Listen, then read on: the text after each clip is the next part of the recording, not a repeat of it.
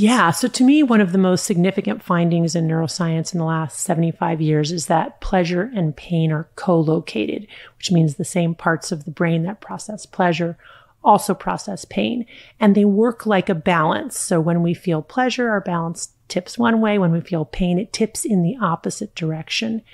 And one of the overriding rules governing this balance is that it wants to stay level. So it doesn't want to remain tipped very long to pleasure or to pain. And with any deviation from neutrality, the brain will work very hard to restore a level balance or what scientists call homeostasis. And the way the brain does that is with any stimulus to one side, there will be a tip in equal and opposite amount to the other side. It's like the principal laws of physics. Yes, right, yeah. right. So like I like to watch YouTube videos. When I watch YouTube videos of American Idol, you know, it tips to the side of pleasure. And then when I stop watching it, um, I have a come down, right, which is a tip to the equal and opposite amount um, on the other side, and that's that moment of wanting to watch one more YouTube video, right? Well, yeah, and I, I just want to um, interject there. So this moment of of wanting to watch another that is associated with pain, uh, I think, is are we always aware of that happening? Because you just described it in a very conscious way, right? But when I um, indulge in something I enjoy I'm usually thinking about just wanting more of yes, that thing. Yes. I don't think about the pain. I just yes. think about more. Right. right. So really excellent point because we're mostly not aware of it and it's also reflexive. So we it's not something that consciously happens or that we're aware of unless we really begin to pay attention. And and when we begin to pay attention, we really can become very aware of it in the moment.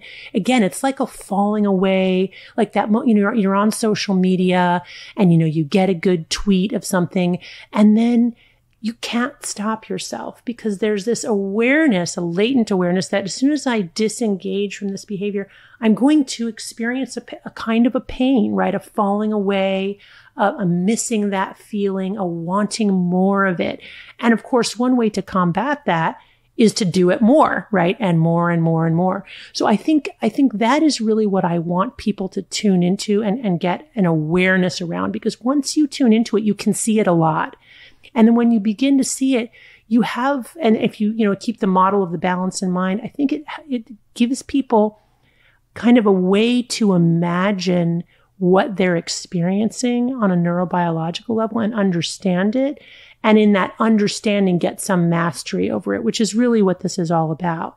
Because ultimately, we do need to disengage, right? We can't live in that space all the time, right? We have other things we need to do. And there are also serious consequences that come with trying to repeat and continue that experience or that feeling.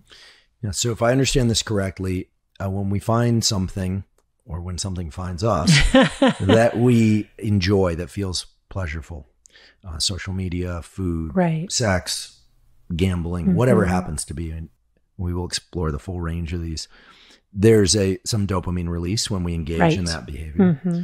And then what you're telling me is that very quickly. Yes. And beneath my conscious awareness, mm-hmm. there's a tilting back of the scale where pleasure is reduced by way of increasing pain. Right. And I've heard you say before that the pain mechanism has some competitive advantages over the pleasure mechanism such that it doesn't just bring the scale back to level mm. it actually brings pain higher mm. than pleasure mm-hmm.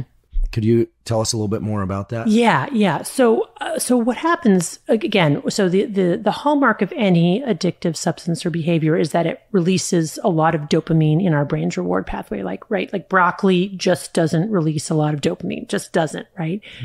I'm trying to imagine. I was about to say maybe there, and I I stopped myself because no, bro- broccoli is good. It can be yeah. really good, but bro- Right. Broccoli is never amazing. Right. Broccoli's yeah. never, never amazing. Like, this is I, most mean, amazing. Honestly, we can probably find somebody on the planet yeah. for whom broccoli is amazing. And of course, if I'm starving, broccoli yeah. broccoli is amazing. Rich right? Roll. So, Rich Roll is big on plants right. and he he has a good relationship to plants. Uh. Rich, uh, tell us how to make broccoli amazing.